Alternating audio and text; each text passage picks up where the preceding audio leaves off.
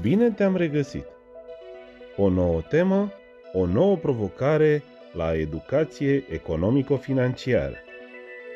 Îți propun astăzi ca în cadrul capitolului Rolul banilor în viața noastră să descoperi principalele mijloace și instrumente de plată.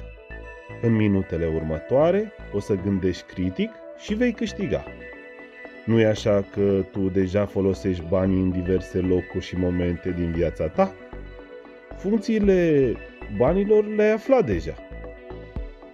Asociază imaginile următoare cu mijloace și instrumente de plată. În imaginea aceasta este sugerată o plată prin SMS sau card a serviciului de parcare – În această imagine ai recunoscut cu siguranță iOS-ul și cardul bancar cu chip. Sunt tot mai multe astfel de instrumente în magazine din comunitatea ta. În această imagine se indică plata prin internet banking, o operațiune ce include date de pe cardul bancar, informații ce nu trebuie divulgate nimănui.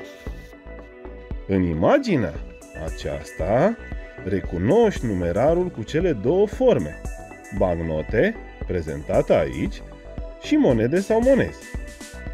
Este cea mai veche formă de plată. În fine, în această imagine, îți sugerez cea mai nouă formă de plată, cea cu smartphone-ul sau telefonul mobil, ce are instalată o aplicație dedicată. Și acum vreau să analizez critic cum preferi tu să plătești bunurile și serviciile favorite. Prefer numerarul? De ce? Prefer cardul bancar pe care părinții ți l-au recomandat? De ce? Dar ai acces și la cardurile părinților? Înseamnă că știi ce responsabilitate implică mijloacele și instrumentele de plată. Fiecare metodă are avantaje, dar și dezavantaje. Dacă vei reuși să le identifici, o să iei decizia cea mai bună și cea mai eficientă. Plățile cu numerar implică deplasări. Cele cu cardul bancar presupun anumite costuri. Transformarea din banii de cont, banii de pe card în numerar, se poate realiza oriunde, chiar și în străinătate. Ai grijă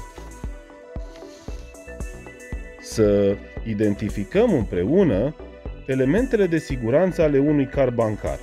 Primul este seria unică de 12 cifre de pe fața acestuia, apoi codul CVC de pe spate, cele 3 cifre, iar apoi banda magnetică și în fine chipul care face posibilă plata. Există două tipuri de carduri bancare pe care băncile ți le propun. Cardul de debit și cardul de credit. Primul se mai numește și cardul de salariu, pentru că este folosit pentru încasarea acestuia. Iar cel de credit presupune obținerea unui împrumut rapid de la bancă. Astăzi și în viitor, cardurile au devenit accesibile și vor deveni din ce în ce mai accesibile și se vor adapta nevoilor adolescenților de a efectua tranzacții de la simple achiziții de bilete de autobuz până la transferul de sume importante. Internet banking-ul este o alternativă sigură de efectuarea plăților pentru multe persoane, mai ales pentru cei care aleg să fie mici antreprenori. Iată trei argumente. Și acum, haideți să vă auto-evaluați.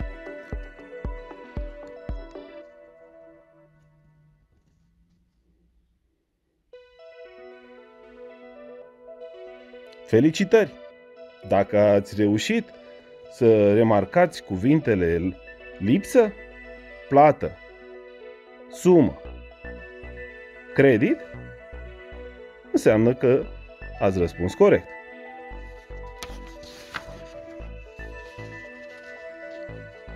Vă propun, îți propun să-ți imaginezi cum ar fi să-ți planifici cât mai bine plățile efectuate cu ocazia excursiei de la finalul clasei a 8 -a.